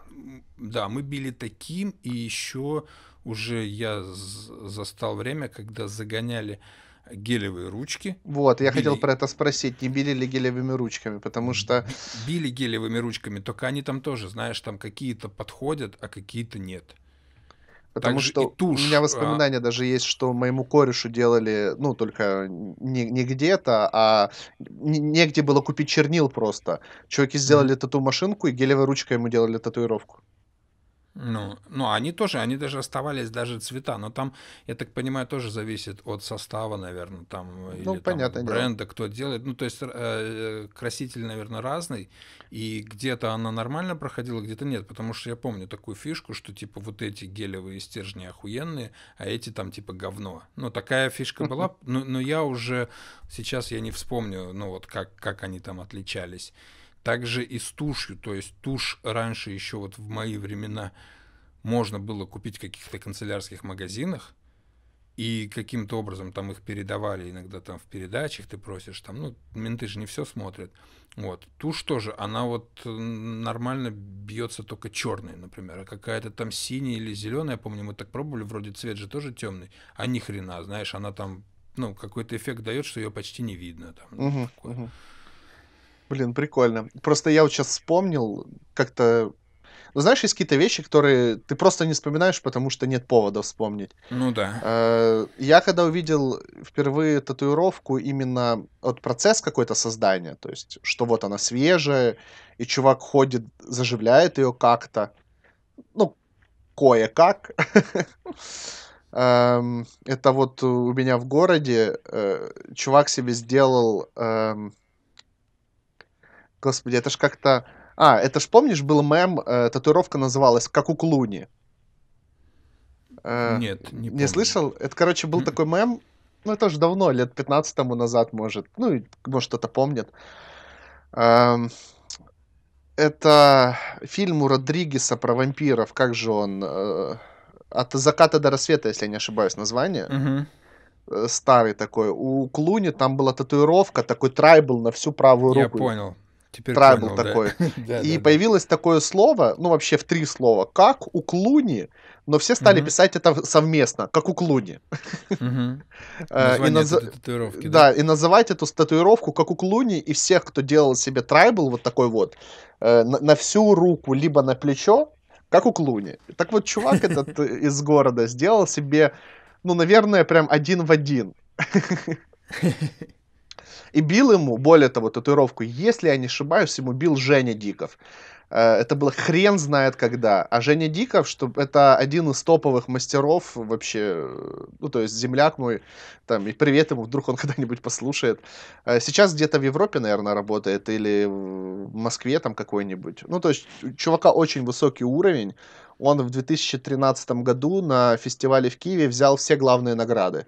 Он взял э, номинацию «Лучший портрет», «Лучшая работа в реализме» и лучшая и гран-при фестиваля, то есть лучшая работа всего фестиваля. Это вот 2013 год, когда я впервые посетил тату-фестиваль в своей жизни. Вот. И он приехал с моделями и забрал все лучшие награды. Вот. То есть, а тогда мы еще, наверное, даже знакомы не были, или только познакомились, и я просто увидел этого чувака с этой, и машинка была самодельная, э, били черными гелевыми ручками, били, что самое смешное, я помню, били, если я не ошибаюсь, на компьютерном клубе. То есть, знаешь, были в подвалах эти компьютерные клубы, где чуваки там на час брали и так далее. А этот чувак условно взял на всю ночь, и они там что-то на компе смотрели и били. Такой трэш, капец, такие воспоминания какие-то. Ну, тогда же было вообще круто пойти на всю ночь компьютерный клуб с пацанами. То есть это вот тогда, когда я был малым. Э, да-да-да. Вот, вот и причем самое смешное, что делали вот этими гелевыми ручками, они все равно потом синели. Татуировка заживала, ну, то есть, а все, все делалось же все равно на черниле, на синем. То есть, как-то добавлялся краситель, чтобы на черном было. И потом у чувака вся эта татуировка просто стала фиолетовой. Вот. Так что... Вот, было и такое. Вот. Ну, ну при, при, при... остались именно вот, э, вот из той жонки, короче. Ну, ну, оно такое, оно больше серый какой-то, серо-зеленый, наверное. А тату-машинку делали с этих, э, с электробритов, правильно я понимаю? Или у вас нельзя было таким пользоваться? Нет, уже мы делали с э, движков от э, плееров. А, прикольно. Ну, потому что электробритва это даже, наверное, вот в двухтысячных, когда я отбывал, это уже было олдскулом. Ну, именно механическое. А, электробритв.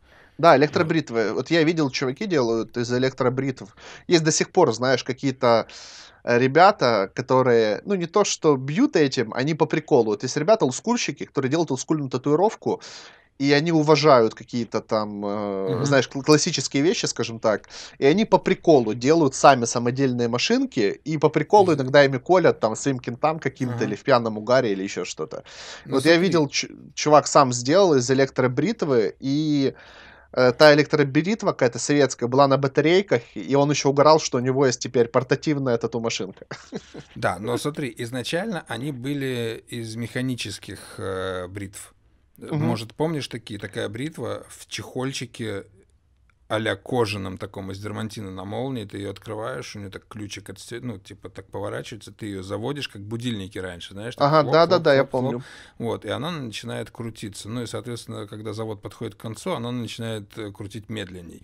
У меня такая машинка тоже была, но уже после того, как я освободился и нашел у своей там бабушки в шкафу где-то в серванте, короче, я копался, знаешь, там какие-то там эти коробки со старыми пуговицами, там какие-то там еще штуки. Я нашел такую бритву, и я тогда сделал себе просто дома уже угореть. Вот. Но в тот момент, когда я, например, там отбывал, а даже совковые электробритвы, они уже были ну, не в обиходе. То есть, угу. возможно, какие-то мужики, знаешь, там сейчас ты тоже можешь какого-нибудь деда найти, который до сих пор там наяривает этой бритвой где-нибудь у себя там в туалете, да, жужжит старинный. Вот. Но а, сейчас такое время, что сейчас очень много этих же самых бритв, да, они блядь, заряжаются от USB, короче, и спокойно переносные. Все сейчас уже таким пользуются. А в момент, когда там был я, вот этой новой волны бритв э, повседневно ее еще не было, но бритвы электрические, они как-то тоже уже отсутствовали. То есть я не могу себя вспомнить, чтобы у меня дома была, блядь, электробритва перед, отсид, угу. перед отсидкой, знаешь, или там то, что там мои какие-то кенты ими пользовались. То есть какое-то мужичье, наверное, да, там по 60 лет, возможно, там ими и пользовались. Но так как из нее делают машинки, во-первых, их э, на централ, ну, реально уже сложно загнать, именно электробритву, да, это же такой агрегат. Вот. И почему-то у нас, э, ну, проще было найти движок от э, плеера, аудиоплеера, знаешь, такие всякие. Вот тогда они уже нормально были в обиходе.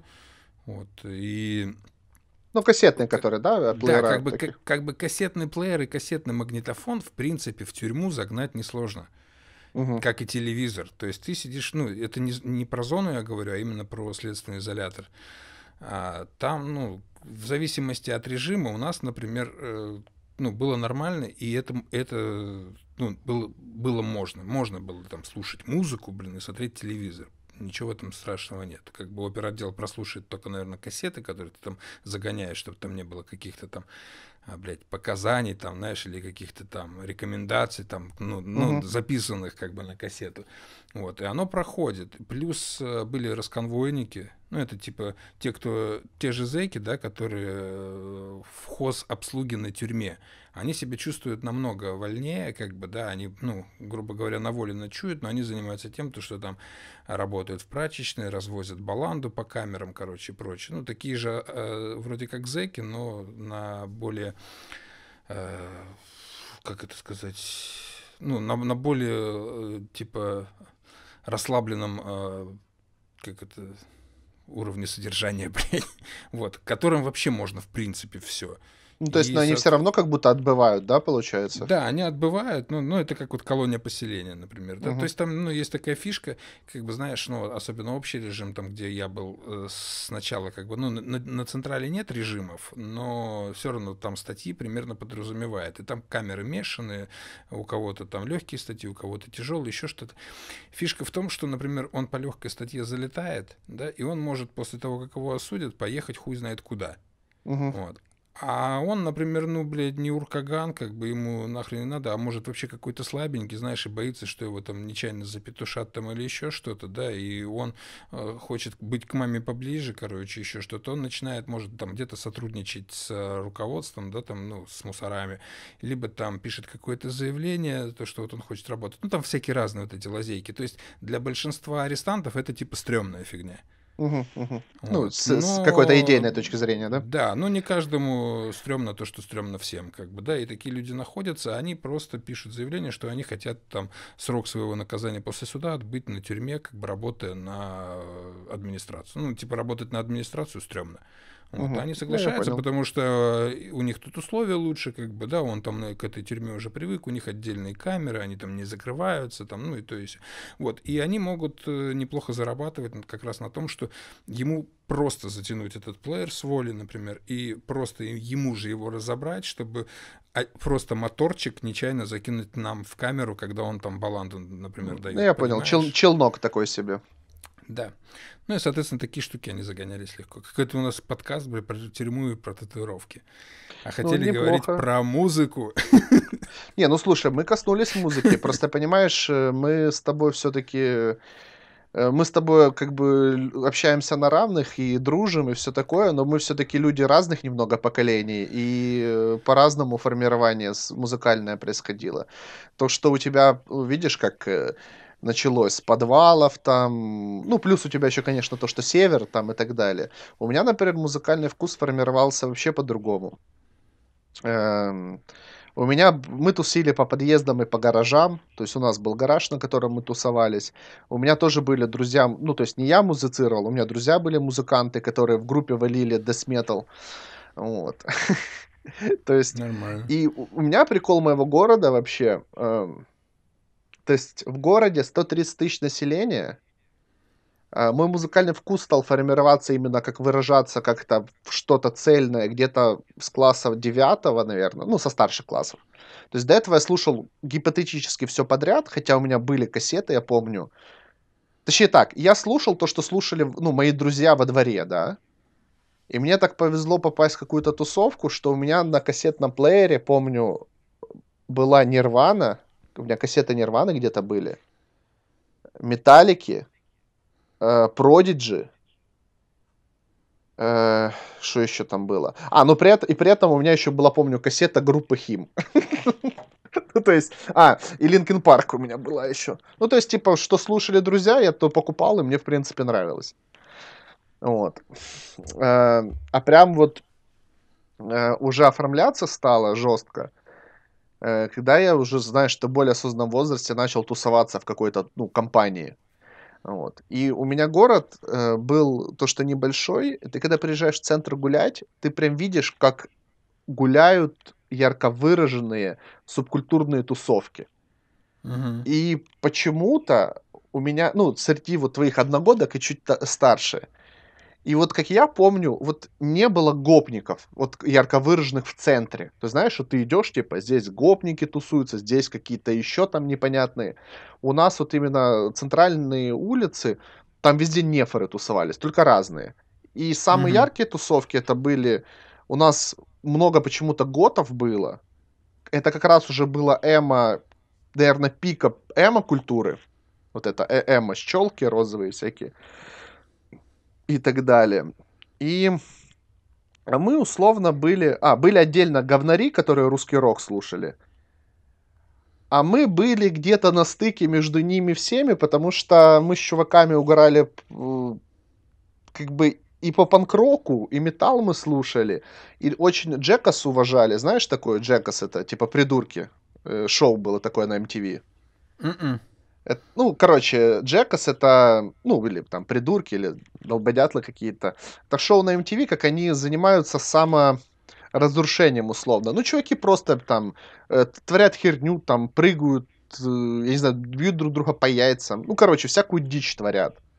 Самоуничтожительную. Там, я не знаю, у них было, ну, типа, типа трэш всякий, там какое-то шоу у них было, они там сперму конскую пили на спорт там, или еще что-то. Ну, такая всякая дичь происходила. И это шоу выходило на MTV, и мы все угорали по нему. Мы пытались копировать его, там, ну, я, я, конечно, не сильно в этом был, участвовал, потому что я травмированный был с бедром, то есть я всякую дичь там, при... я особо не чудил. Но я присутствовал и был свидетелем много всякой фигни, и все это снималось на VHS-кассету какую-то, ну, на камеру. Где-то даже у кого-то, наверное, валяется до сих пор, как мои там кореша всякую дичь творят. Вот. И мы вот где-то на стыке всего этого тусовались. То есть, и вот первая компания, э, и все, все ребята со двора, первая компания, с которой я жестко начал там и пить пиво там, и водку с ними жестко какую-то гасить, это были металюги, они слушали black metal вообще. То есть, Ну, у вас это э, так развита же блэк-сцена очень хорошо, просто блэк метал. Вот, это так странно было. эм, тип- короче, чтобы ты понимал, ты, наверное, знаешь, что харьковскую группу, как-то, я уже плохо помню, Тхорн или Торнс, как-то так называлась, э, Black Хорс, Metal. может? Хорс, Хорс, во, Хорс, Да, точно. знаю таких. Вот, э, то ли барабанщик, то ли гитарист этой группы э, жил на пятом этаже, э, короче, был соседом сверху моего кореша металюги, короче, понял? Ну, типа, вот так вот было. И вот э, слушали они там black metal, и мы с ними тусовались на гараже, тоже слушали какой-то Dark Funeral, там что-то... э, я Саммонинг, помню, слушал, какие-то такие, знаешь, Мгм. группы. Э, Ну, Бурзум, само собой, там был Immortal, какие-то такие, знаешь, самые, может, известные. Вот. И что-то вот это я, помню, послушивал. Э, Потом как-то в тусовке стало больше металлистов. Я помню, был период, я слушал Power Metal. Но мне Power Metal что-то, ну, не сильно зашел тогда. Хотя нравился, Мгм. ну, до сих... И как-то вот так, знаешь, типа, с кем тусуешься, вроде то и слушаешь. И пока вот возраст такой, знаешь, 14-15 там, ты как будто в поиске, тебе все влетает, все нравится, там, все круто. Э, то есть попса однозначно нет там, да. И потом, короче, ты начинаешь уже выбирать, там, с новыми тусуешься, тебе посоветуют такую-то группу, ты, тебе диск кто-то даст или еще что-то. И вот какой-то переломный момент случился, когда мне кореш дал, который вообще слушал э, Pagan Metal и Black Metal, дал мне диск с группой In Flames. Мгм. Вот. И я послушал и влюбился. Короче, прям. И In Flames до сих пор моя любимая группа. Я кучу раз был на их концертах. А, вот. И все. И я прям... Короче, melodic Death Metal, Metalcore.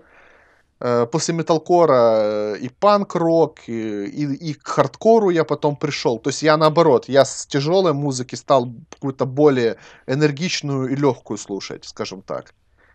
То есть первые какие-то тяжелые группы я слушал, и потом начал переходить на что-то полегче, что-то поэнергичнее и так далее. Вот. И вот с In Flames случился какой-то переломный момент, потому что раньше какой-то э, панк, постпанк или еще что-то было зашкварным слушать, типа это попса какая-то. А я начал слушать, такой, блин, круто. Круто, круто, там начал то, другое.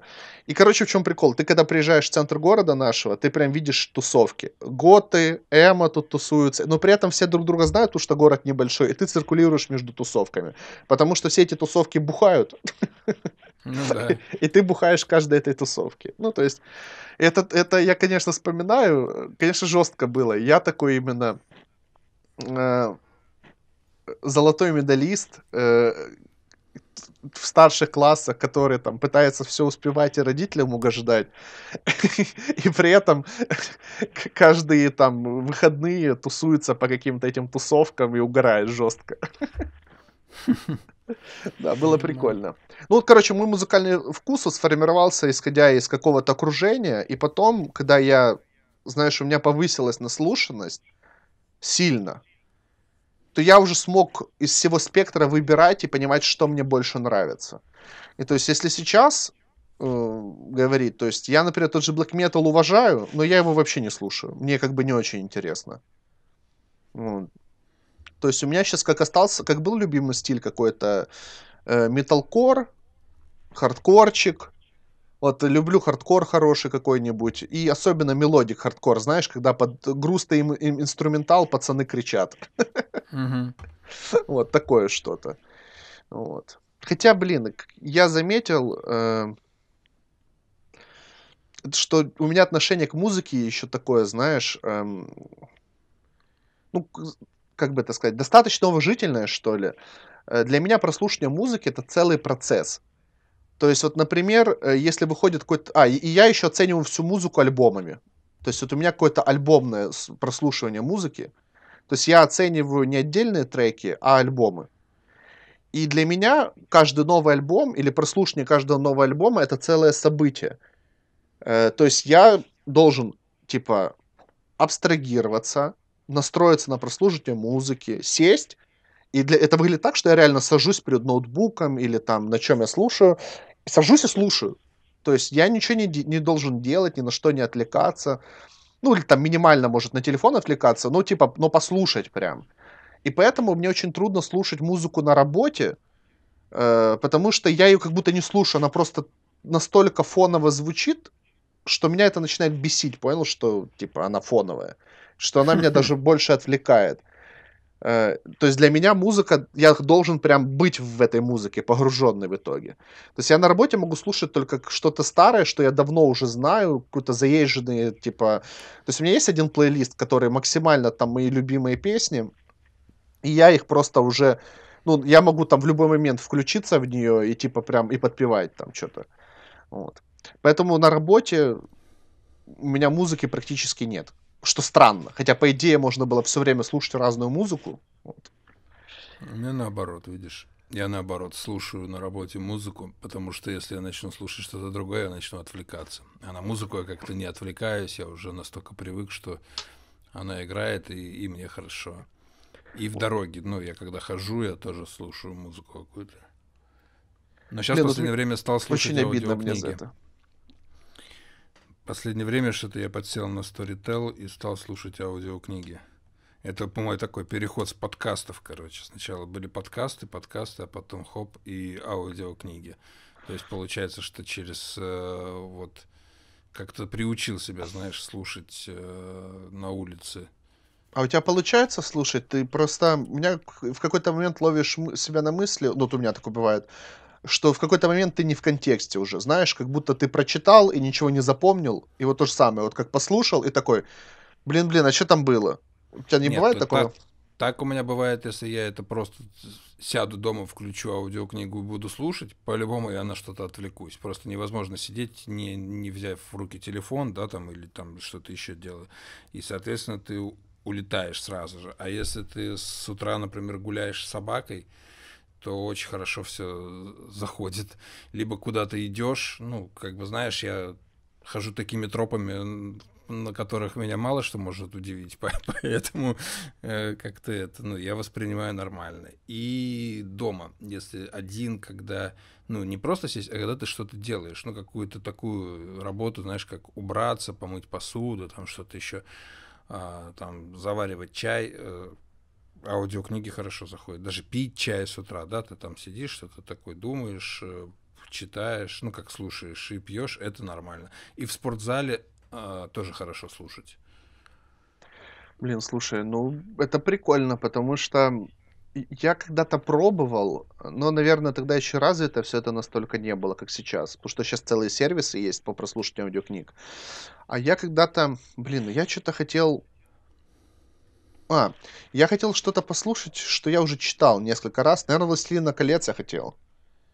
Ну, у меня, у меня есть, как, короче, какое-то э, тоже прошлое такое. Я фанат Толкина и перечитывал «Властелина колец» много раз. Эм, и я, наверное, хотел что-то послушать, наверное, «Братство кольца» или что-то такое. Ну, первую книгу там из трилогии.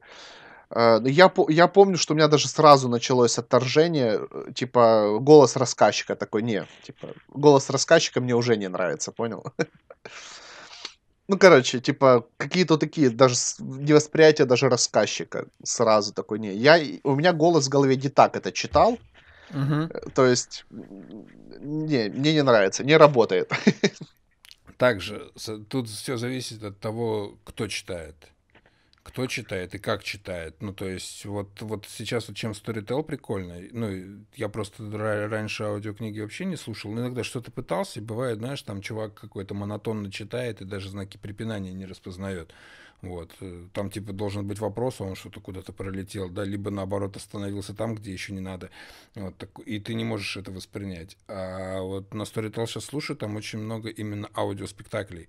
То есть уже так записано, что ну, ты проникаешься в атмосферу. Я вот Глуховского слушал, причем Глуховский сам себя начитал. То есть человек, который это написал, он еще и прочитал. Ну и, соответственно, блин, это, это заходит. Вот. Плюс э, поражает, как, например, один и тот же, э, как это сказать, диктор, да, ну, кто тебе начитывает, а, может говорить разными голосами с разной интонацией за каждого героя и не забывать, у, кого, у какого героя какая интонация. То есть даже, даже говор, понимаешь, и ты вот вроде читает один человек, но ты уже по интонации, по, по, по манере говорить э, распознаешь героев. Это, блин, О, прикольно, нифига. слушай. Наверное, стоит попробовать вернуться к этому. Потому что, ну, как бы у меня вся работа это, ну, на работе фон это подкасты в основном. Ну, я уже говорил на это об этом. У меня вот почему, например, музыку, музыку я должен слушать, да, а вот подкасты я могу кусок подкаста пропустить и, ну, например, прослушать и не париться по этому поводу. Потому что подкасты воспринимаю, знаешь, как эм, условно, как, как будто ты находишься в компании людей, да, Угу. И я, например, подкасты не вырубаю даже когда ухожу в туалет. Ну, там, по маленькому, например. Ухожу, я его не вырубаю, потому что отношение у меня такое. Я нахожусь, типа, в тусовке, а в тусовке нельзя же разговор на паузу поставить. То есть ты вот, например, находился в компании, люд... ты ушел в туалет, люди продолжают общаться, ты возвращаешься на середину разговора и опять вникаешь в него. Ну, то есть у меня ну, какое-то либо такое... ты говоришь, что там, что там. Да-да-да, ну, либо что там вы говорили, ну, тогда отмотать несложно.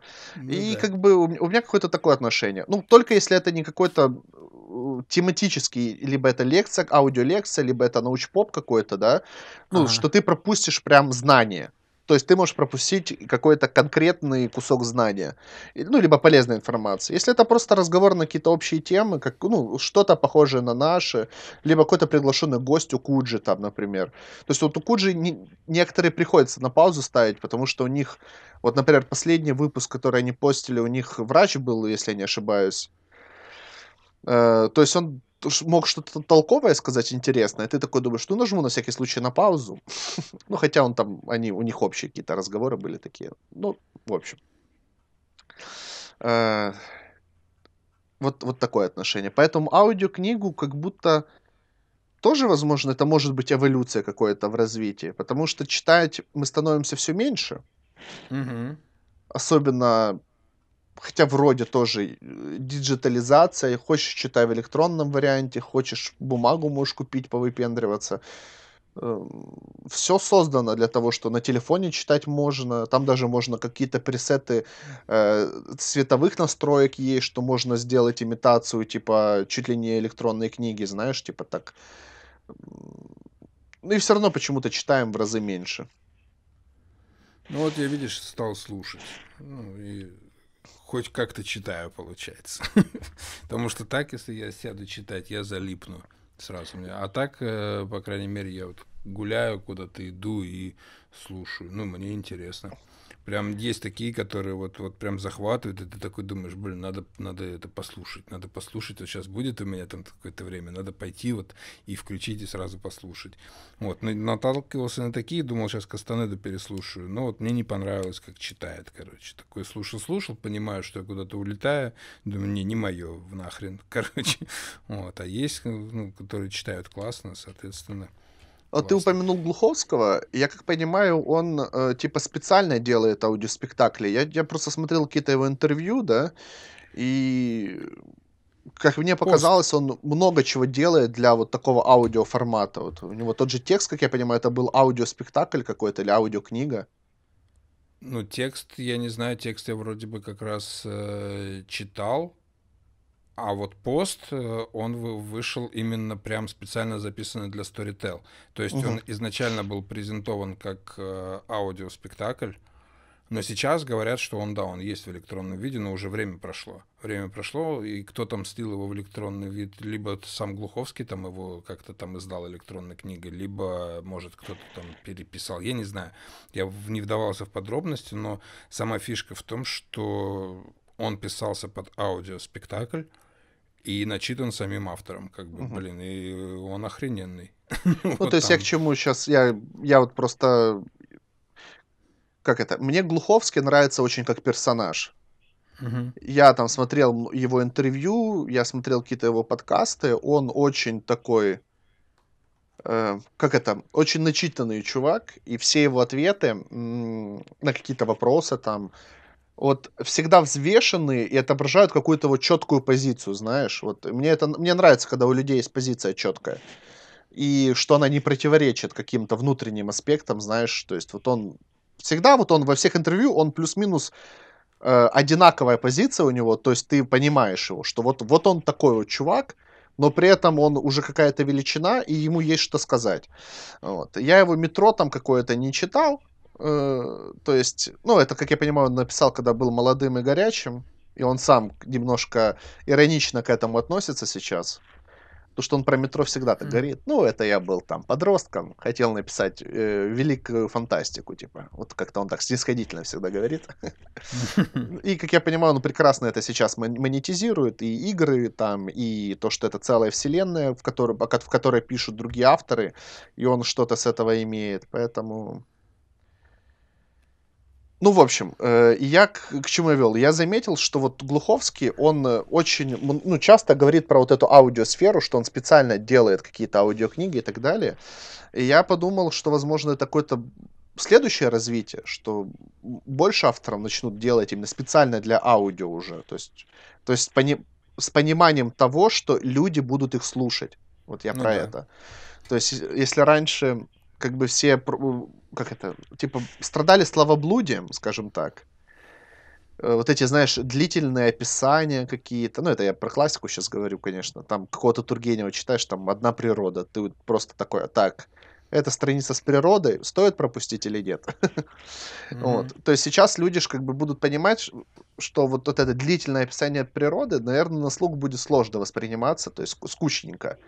Что в нужно зависимости, все... опять же, кто как читает. Там же еще есть mm-hmm. фоновые подложки. Ну, то есть есть нормальная тема. Ну, то есть я веду к тому, что в, в будущем, возможно, может появиться какое-то из-за того, что эм, человек будет подходить к написанию книги, ну, к написанию текста какого-то с точки зрения, что его еще будут слушать, что это в целом может повлиять на всю, на всю индустрию, на стиль написания. Вот я про это говорю. Ну да.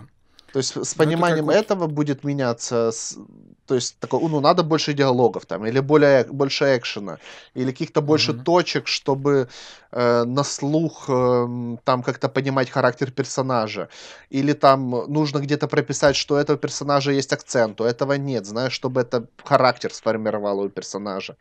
То есть я вот про, про это, что нужно сделать ярче как-то, чтобы на слух это воспринималось круче. Mm-hmm что, возможно, это приведет к какому-то такому более э, динамике какой-то, к более динамичному повествованию или еще что-то. Ты зайди как-нибудь на Storytel и вообще посмотри, э, что люди слушают. какая там вообще сейчас библиотека и сколько всего уже вот так вот записано. Просто охренеешь. Storytel есть две недели пробного бесплатного периода. Ага. Ну, я часто видел рекламу Storytel на ютубчике, так что... Да, и, ну, как бы там на бесплатном периоде можно уже нормально наслушать. Ну, и он стоит недорого, как бы там я вот это, это, это, это что у нас? Это у нас в подкасте первая рекламная интеграция. Ну, это просто классная штука. Да, я понимаю, шучу. Вот. Мне тоже жена э, подписалась, говорит, блин, классно, попробуй. Я попробовал, мне тоже понравилось. А потом после пробного периода просто там есть семейная подписка. И она ее оформила, пригласила меня, и, и офигенно, как бы, ну там. Я плачу за семейный Spotify, а жена платит за семейный Storytel. Прикольно, прикольно. И вот час сорок у нас уже. Слушай, я помню, а, мы очень сильно э, хотели коснуться темы миноксидила. Это давай, может, в следующий раз. Уже. Я вот я вот хотел спросить, это пойдет на следующий раз или как? Давай на следующий, потому что ну куда уже сейчас по-быстрому вот это все наговорить. Я, я и так уже максимально скомканно сказал о своем музыкальном становлении, потому что если вдаваться в какие-то подробности, это можно целый подкаст, знаешь, этот, за жизнь поговорить. Угу. Но смотри, сейчас э, время писать у меня пока есть. Не знаю, как у тебя. Мы можем сейчас хоть раз в неделю пока делать. Но, опять же, сейчас это, это до 20 чисел июня. Потом я тоже хочу отдохнуть. Угу, вот. угу. И там до начала июля меня не будет. Ну слушай, вот. давай посмотрим. Но зато я буду как... очень заряженный такой. Э, там приеду, мне будет что рассказать, и, и где что можно еще посмотреть, и расскажу, где я был. Вот, если все получится. Я, в общем, я, знаешь, с большим энтузиазмом подошел к, к сегодняшнему подкасту. Я прям соскучился, и мне хотелось. Плюс мы с тобой давно не общались. То есть мы как-то повыпадали, кроме поездок, еще и в работы там и так далее. Uh-huh, Я тут параллельно еще помогаю с проектом э, девочкам тут одним в Харькове. Ну, если кратко, я этот э, больше в ароматику ударился. Сейчас э, помогаю там девочкам ароматы разрабатывать для их проекта. Э, очень интересно. То есть вот твердый одеколон дал мне толчок, ну, с появлением твердого одеколона у меня в ассортименте, у меня какой-то толчок в, в этот аспект получился. Угу. Вот, я ароматы всякие делаю. Вот недавно сделал аромат э, тюльпан с грейпфрутом. Прикольно получился. Травяной такой, цитрусовый, травяной, свежий летний аромат. Вот. И э, вот эти, знаешь, какие-то заботы все, они накапливались, и как будто подкаст это все-таки и выплеск какой-то эмоции, знаешь. И я прям, вот прям с кайфом сегодня. То, что мы наконец-то договорились, наконец-то состыковали свои э, режимы какие-то, потому что мы с тобой живем в разных временных режимах. Да. Этот, э, это кайф. Поэтому я не против. Единственное, что, ну, как бы, в принципе, можно следующий оперативно записать, потому что остались темы более прикладные. Тоже миноксидил можно обсудить. Э, я, кстати, немножко готовился, я э, освежил память, э, как он работает, ну, почитал немножко. Так что будет что обсудить. Достаточно интересный продукт. Угу. И оказалось даже, что я немножко заблуждался в каких-то вещах. Я думал, что у него есть какое-то гормональное воздействие, а это неправда. Вот так. Оказывается, миноксидил никак не влияет на гормоны, но при этом угу. у мужиков растут волосики. Вот. Так что это мы оставим на следующий раз. На Я надеюсь, что да, наши, наши слушатели тоже соскучились. Надеюсь, мы получим какой-то фидбэк. Это будет очень классно. Возможно, кто-то вкинет тему какую-то, о которой мы либо забыли, либо что-то новенькое, но интересное. Угу. Вот. И можно, в принципе, на следующей неделе тоже в субботку так созвониться. Да, если что, мы пишем в субботу.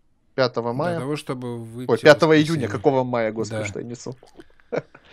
Чтобы вот. выйти в воскресенье, да, и, соответственно, если мы следующий запишем 12 то 13 тоже он будет опубликован. А потом вот я на пару недель выпаду из подкаста именно, потому что я не думаю, что мне в поездке получится вот так вот посидеть с микрофоном два часа. Слушай, прикольно. Так, э, даже хорошо, на самом деле, что ты выпадешь, потому что к тому времени я надеюсь, что я наконец-то запущу то, над чем я работал по, по своей основной работе, и нам будет вообще кучу чего обсудить. Крутяк. Вот. Ну что, всем харьковским циркачам привет. Да, ребята. А, харьковскому black metal. У вас, кстати, ты упомянул, да, там... А, перенесли фестиваль. Про Black. Не, я имею в виду вообще про то, что культура black metal в Украине очень сильно развита в Харькове, и как раз благодаря а, харьковским ребятам она очень э, сильно выстрелила во всей Европе. Вот. Ну, так что, мы передаем привет циркачам и блэк-металлистам, и всем остальным тоже. Да. Все, всем пока, до свидания. Рад был слышать. Да, пока, ребят.